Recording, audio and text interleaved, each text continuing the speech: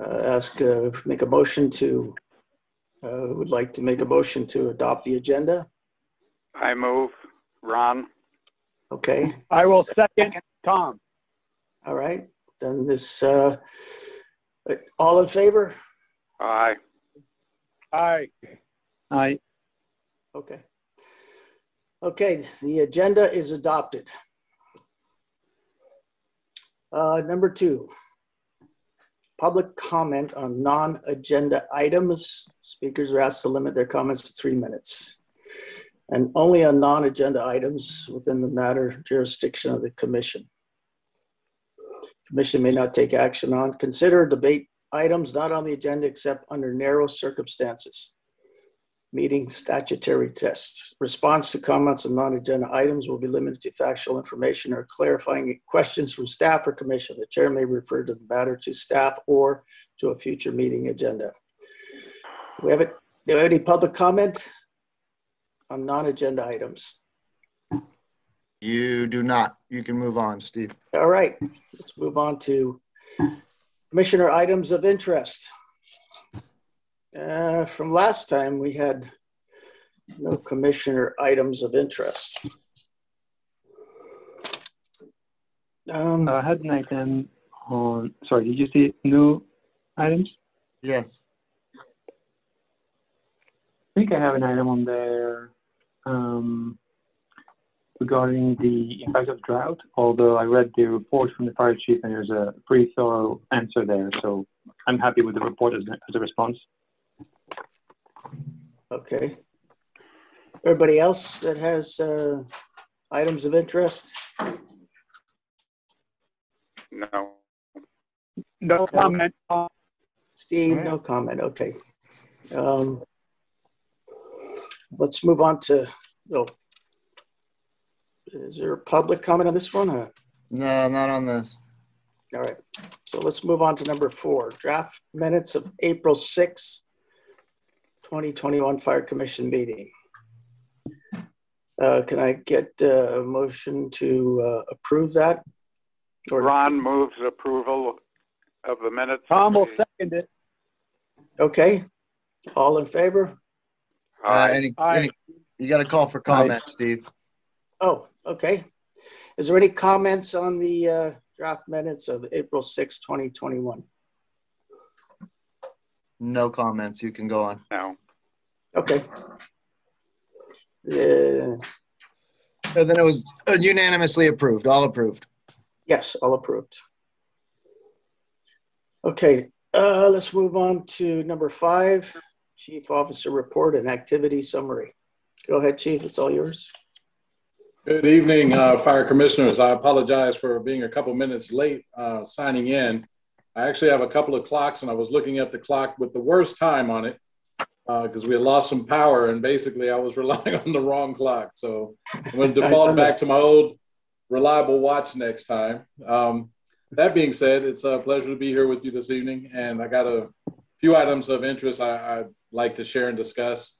Um, first and foremost, regarding the Marin Wildfire Prevention Authority and the the efforts that are underway currently to try to start uh, timing our efforts in advance of the new fiscal year, but also in recognition that our winter drought conditions have now led to drier fuels and the need to really hasten our efforts when it comes to different projects and or activities such as goat grazing as an example where my understanding is the fuels may actually dry out to a degree that the goats don't even find the the grass to be palatable. So that's one of the concerns we have. So we're trying to move forward, and this is a recent development that I've been in conversation with staff um, prior to developing this uh, particular update for tonight. But just want you to be aware that you know staff is looking at options and looking to exercise options sooner than later to ensure that we're um, being as proactive as we can, given the fact that uh, April was a very dry month. Our winter months and or spring have uh, all been consistently dry, and we anticipate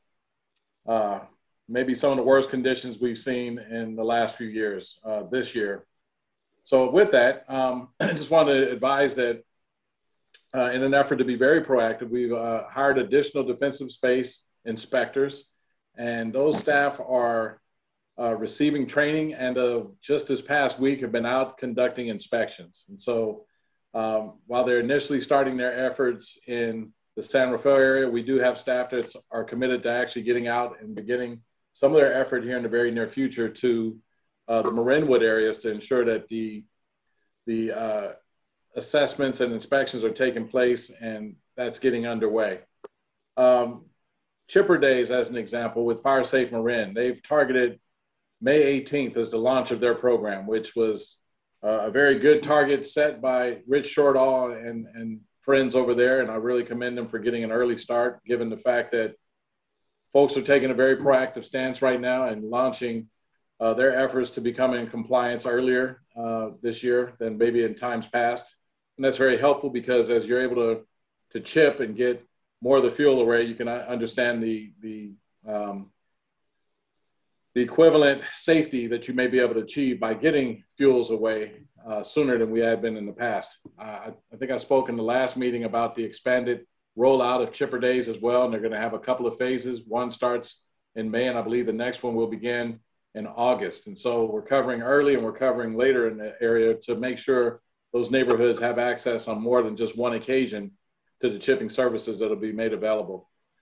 Um, Marin, uh, excuse me, AmeriCorps teams uh, we're looking to try to push them hopefully sometime in June. There are some dynamics right now that have uh, slowed their availability, and it's generally on their end, but there's also some logistical things we have to work out on our end, such as housing those crews. But we're still looking at the, the value and the importance of bringing them in to assist with uh, some of our um, our handheld projects, if you will, and just the idea that, that those crews are well trained and seasoned and experienced in most cases with utilizing loppers and chainsaws and other things that will really make a difference in a relatively short period of time.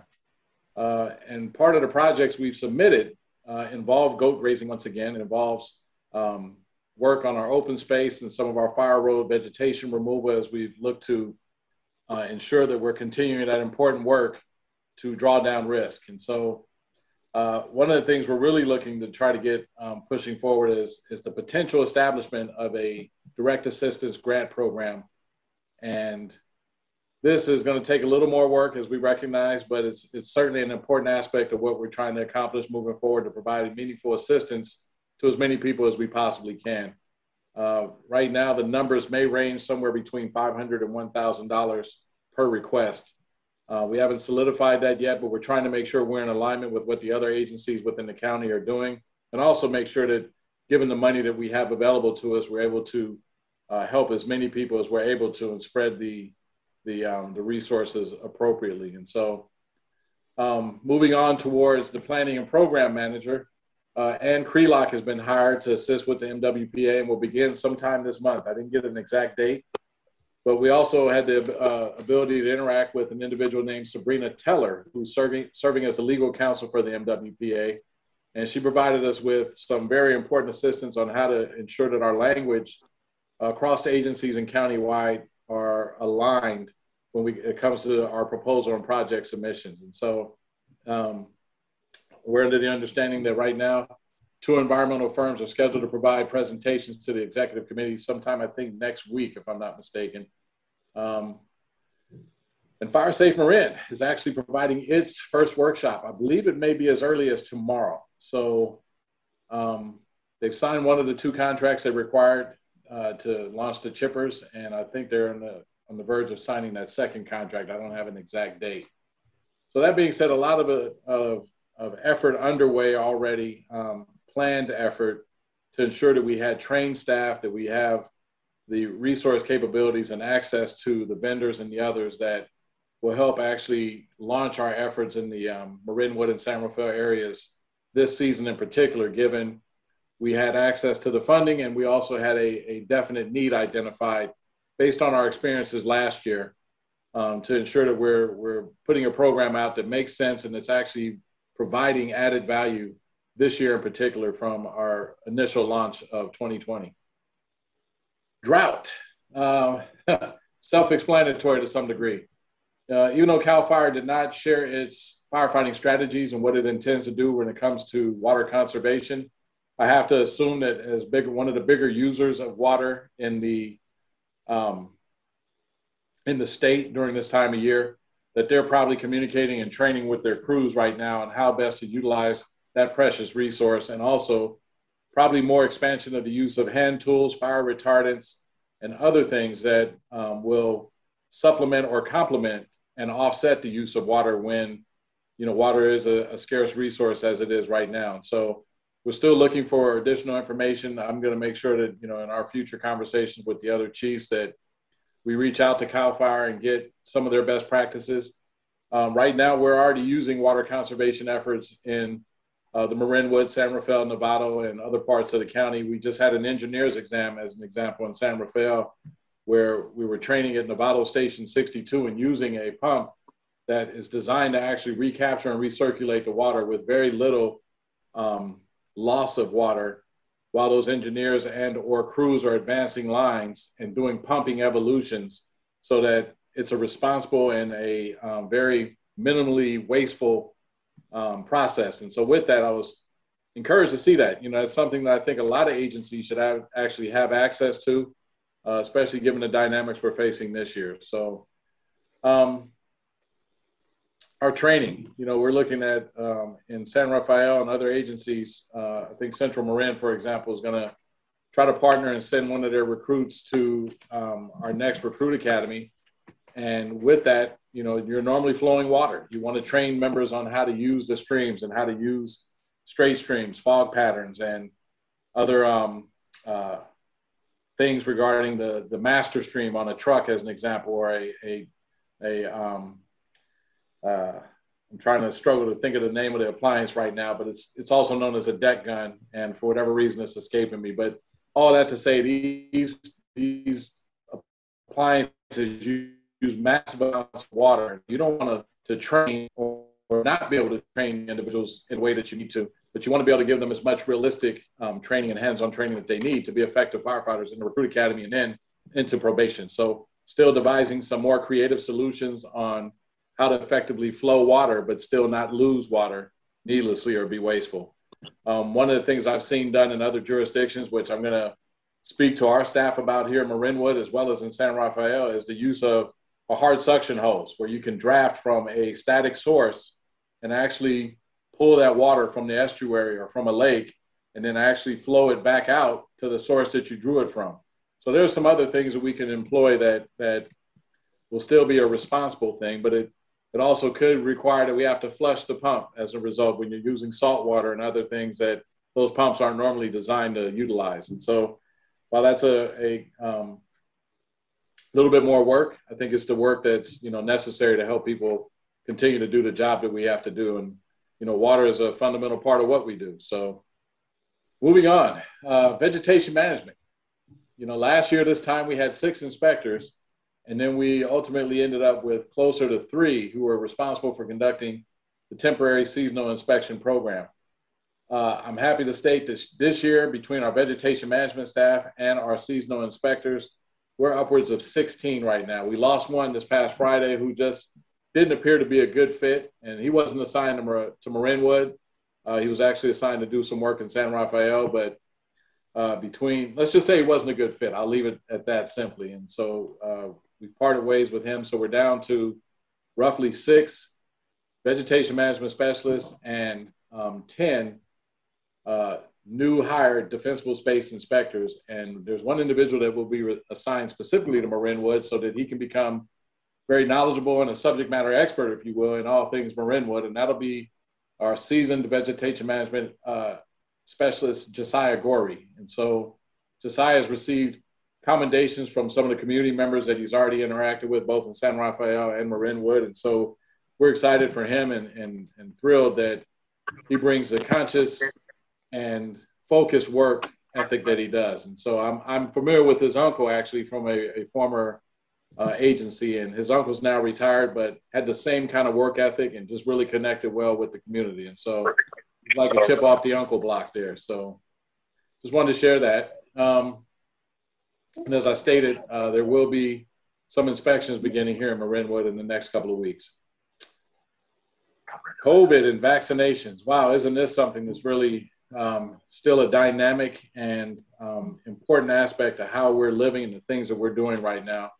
Um, I did not get on the call that may have been held earlier today with um, our Office of Emergency Services staff, but I'm understanding that as early as today or tomorrow, there's a strong possibility that Marin, the county, is actually going to be moving to the yellow tier. And if that still holds true, that's going to be huge news for us because it now starts to open up even more in the way of capacity for the different um, occupancies and businesses to allow uh, an increase in a, a, ability to move closer to what has been considered normal or pre-pandemic.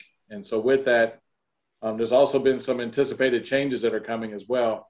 Um, the Center for Disease Control, along with uh, Governor Gavin Newsom and his team, have indicated that folks who've been vaccinated, um, they're not necessarily going to be requiring them to wear masks when they're outdoors, unless they're in close proximity to others or they're in a situation where they're gathering with large groups of individuals. And I'm not sure quite how they're defining large right now, but the idea is they feel that individuals who've been vaccinated are protected and are safe.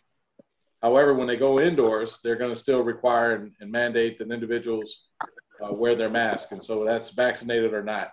Um, and given what we're seeing right now um, in India and other places where uh, a resurgence is occurring, um, it's kind of troubling to understand that we're, we, we've got a segment of society right now that doesn't seem so inclined to actually go and receive vaccination uh, because they, I guess, perceive normalcy is returning and or don't see the importance of obtaining the vaccination themselves. And so it often makes me wonder, is it because they don't know anyone who's been affected directly um, by the actual uh, uh, virus? And so with that, when you when you don't know of anyone or haven't heard of anyone or or can't put a name or a face to something like this, it almost seems abstract or maybe not even believable. Um, but it's it's unfortunate short-sightedness that could ultimately lead to, lead to more individuals being hospitalized and or perishing. And so we just we're hopeful that the mutations and the variants that, that are already surfacing and proving to be a challenge don't become pervasive because the majority of individuals who've been vaccinated are the ones that are already going to be vaccinated. And that's roughly, from what I understand, maybe not even half the country just yet. So I'm really curious as to how society is going to address this and how our leadership is going to address this. I understand there are a couple things right now that could curtail or at least compel individuals to um, to go become vaccinated. And one of them is if you're a student, you may not be allowed on campus and back in the classroom if you haven't been vaccinated. And that may also tr- prove true for some employers who are, you know, finding themselves in a strict situation where legally there's two ways to actually not be uh, forced a vaccination on someone. One is if a um, employee states that they have a medical reason to to um, disagree with the vaccination or a religious a religious rather opposition to the vaccination. so with that, employers are required to accommodate um, to whatever degree they're able to individuals with those two dispositions or those two um, rationales for not wanting to be vaccinated. But again, uh, this is something that's going to bear out over time as we as we continue to watch what looks like society moving back to pre-pandemic norms. Um, it's going to be curious to see how things unfold. But I'm speculating. I don't want to do much of that. Um, I do want to say, though, that um, Marin County's done an excellent job of providing vaccinations, so much so that now the Marin Civic Center, from what I understand, as of last Saturday, offered its, um, and also the location on Kerner Boulevard in San Rafael, have offered their final first round vaccinations. And they will continue to provide the second round vaccinations well into the end of this month. Um, it may go beyond that as well because I'm learning even as of earlier today, there is a um, movement afoot to look at potentially as early as next week, the Pfizer vaccine may be approved to actually provide to 12 to 15 year olds. Uh, if that's the case, there's going to be roughly about 14 or 15,000 kids who are in Marin County that may be eligible to, to take the vaccine uh, in a relatively short period of time and in anticipation of summer activities as well as the fall school year. So these are things that are actually um, uh, starting to surface pretty quickly. And, you know, I, am glad to see it happening now because it, it helps to position and, and hopefully bring the return of students back into the classroom with vaccinated teachers and vaccinated students and workers. And so at least that portion of society will be protected and or in a um, safer situation than they were uh, just last month, for example. Excuse me one second, I need to turn on my light. My lighting is finally dimming in here and I can't see what I've written. Excuse me. All right, much better. Ah, I used to be able to see in the dark. Now I can barely see. So something about aging. Um, Yep. So uh, the Larkspur Ferry Terminal will continue to operate, uh, but it's important that people realize that they need an appointment to be able to um, get an appointment or get the vaccination there. They will not accept any drop-ins, and I don't know if that intends to change. So we'll see. Uh, another thing that's been reported is that the vaccine supply, uh, just contrary to what we reported a couple of months ago, has now outpaced the demand in Marin County. And uh, it, it's gotten to the point where they decided that individuals don't even need identification, and anyone who's age 16 years of age and older may not even necessarily have to work or live in the county to get vaccine from within Marin County. So that's um, just goes to show you that they're looking to ensure that everyone gets the value of whatever vaccine supply they have on hand, and that's that's that's some news. That's uh, a, surprising bit of news. Uh, as of last week, uh, roughly 287,898 doses of vaccine have been administered in Marin County. That's a huge number of vaccinations and or dosage. Doses, excuse me. So um, I think that pretty much covers the COVID and the, the vaccination dynamic. Let me uh, just make sure I haven't left anything out. And, oh, mobile pop-up sites. Those will also be at, um, something that becomes more and more um, utilized as opposed to the super site centers, if you will. They're going to make sure that there's mobile vaccination sites. Uh, those have been actually operating for a little bit for the last couple of months, but look expand operations and target certain locations where there's fewer or no vaccination op, um, opportunities. And with that, um, they're looking at you know large events, uh, events where you know it could be even a, a movie theater or it could be a like I think they had a, a recent um, uh, outdoor opera, if you will. So anything where there's a lot of individuals that may come and attend an event, even socially distanced events, they're going to look to put some of those pop-up clinics there to offer vaccination to those who may have not had the opportunity up to this point. So moving on, um, emergency incidents. Uh, the main one of note is a mutual aid response that our Engine 58 provided to Novato on April 20th. There was a structure fire that um, basically consumed uh, almost two apartments and damaged a few others as well and displaced roughly about a dozen individuals. Thankfully, American Red Cross is always, you know, on the spot to provide um, the valuable assistance and transitional assistance, housing, meals, vouchers, um, clothing, and other um, resources that help individuals who've been impacted in this way, in this manner. Uh, but to show you the, the, flexibility and the dynamic of our Marinwood staff, they started out as the rapid inter intervention group when they first showed up on scene. And that's basically a group that shows up outside the, the structure and they're standing by in the event something happens inside that affects the firefighting crews inside, or if there's a rescue needed of a civilian that suddenly surfaces. Well, um, to show their dexterity and their ability to actually do multiple things other than just fight fire, um, normally in some agencies you have specialties where individuals will work on a truck or an engine.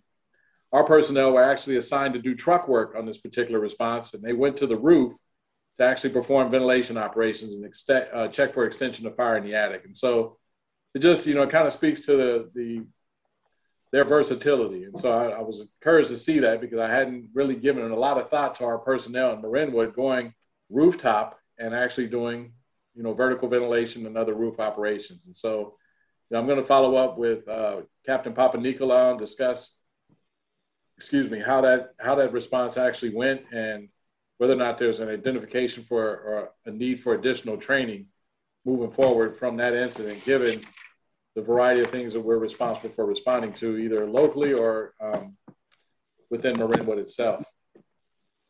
Lucas Valley Road, I thought this was an interesting photo that came out of the hot shot that Chief Senator put together that shows a very tight hairpin curve where um, I guess there's been a lot of a, a long history of vehicle accidents and bicyclists um, going down in this area on Lucas Valley Road, just east of Big Rock. And I've driven this area once before, but I don't recall it exactly. So I want to go back out and take another look at it again. But it turns out they're receiving a over $2 million upgrade. So look for some repairs to actually uh, be implemented on that road, including a retaining wall. So hopefully uh, that'll reduce the number of incidents and or uh, catastrophes that might be faced in that area.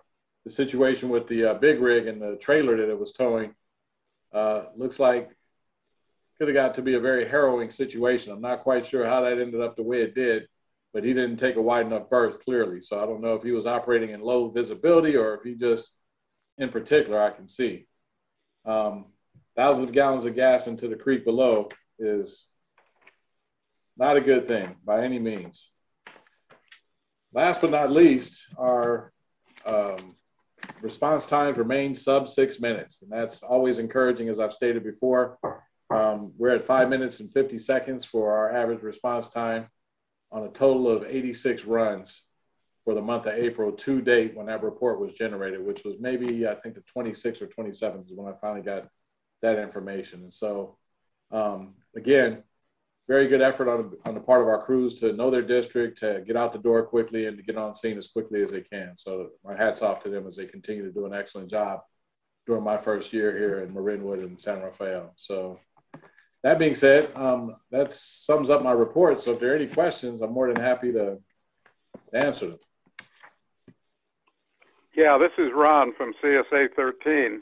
Why did uh, the goats do such a lousy job at the county farm? They didn't cut the weeds, chew the weeds down very far.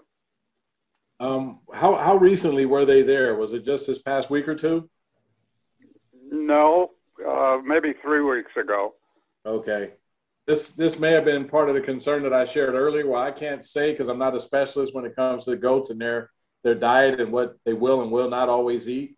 But I've been told recently that um, when the fuels cure as early as they are right now, the goats do not want to eat the ultra dry grass that and, and shrubbery that we're looking at. And so with that, it could become a problem where you're now going to have to follow up potentially with mechanical means to address or even hand crews to address um, what the goats were not able to or were unwilling to actually um, digest or eat. So that well, mechanical means are uh, very easy to use there because the terrain is all level. right. So we'll see next year what happens. Yeah, I, I, I'd be speculating again because I didn't see the fuel conditions. Um, but that would be my best guess is, is they just found the fuels to not be as tasty or um, for whatever reason they were too dry. We better get lower class goats. Hungry goats. There you go. Hey, uh, Chief, I would also say, just to, uh, in brief, uh, Marin did not make the yellow tier, so they are another two weeks out. And at this Ah. point, uh, you are not far from uh, Newsom removing all of the tiers uh, if he sticks by what he proposed on D- D- June 15th. So, Right. Yeah, that was uh, delivered to the county supervisors this morning by Dr. Willis.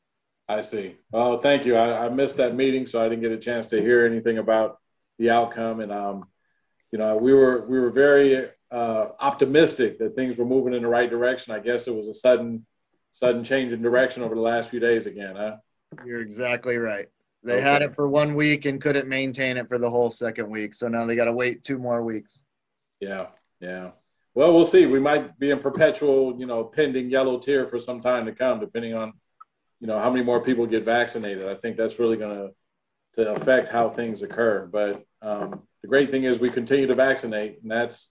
I wish everybody was looking at it in, in Marin County or looking at it from the lens that Marin County is looking at it at. And we would we'd have fewer probably potential exposures. So, but we'll we'll see what happens. You know, we're we're getting the, the goal I think was the end of May to actually have all adults fully vaccinated in Marin County. Those who had signed up and wanted to be vaccinated, the vaccine would be offered and available to them by the end of this month. So um, let's hope that uh, those numbers get closer to 90%, you know, if nothing else. We, I know you can arrive at 100%, but certainly let's get into the high 90s if at all possible.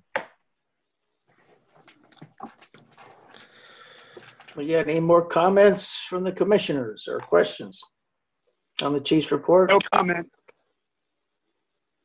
All right, Tom? No Pascal? comment.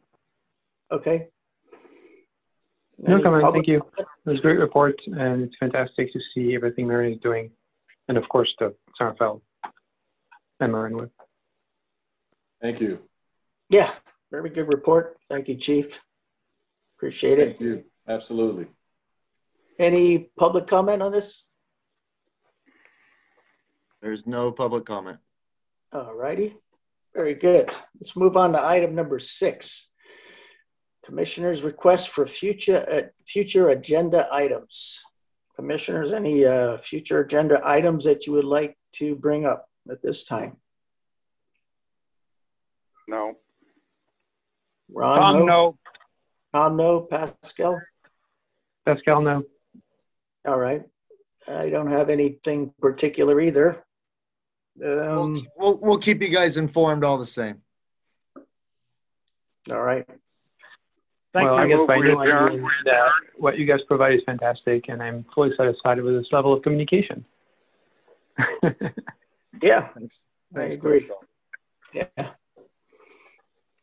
All right. Boy, we just blazed through this one, to use a fire term. Um, Ron moves, we adjourn. Tom will second it. okay. The meeting is adjourned, and thank you, gentlemen, for your time, all your uh, information provided, and we shall see you same, same time next, next month. Yes. All right. Thank Thank you, Thank you. Steve. Thank All you. right. Thank you very much. Good Thanks, night. Tom. All right. Thank you all. Hey, uh, Chief, Yes. when, uh, when and if you decide to drive out in the, out Lucas Valley Road, let me know. I, maybe I'll tag along with you. I'll treat you to lunch at the end of the road at Nicasio Reservoir. I Oh, man, that sounds Nicasio, like a- uh, Rancho Nicasio. Sounds like a plan. Let me know what day works best for you and we'll make it so. Uh, probably next week, uh, would be, starting next week will be okay. Uh, top-notch steak sandwich. Wow. You know what? I got to be honest though. I've been trying to stay away from red meat because I had my triglycerides were through the roof. So I've been trying to curtail what I've been eating in, in some regards, especially when it comes to sugar. Um, so if they have a chicken alternative or a fish alternative, I'm about to say, we'll get you some fish and chips. How about that? There you go. I'll, I'll roll with that. Yeah. Thanks as always, Chief. We'll talk soon. All right. Sounds good. Have a good night. All right, take care, my friend. All right. Bye bye.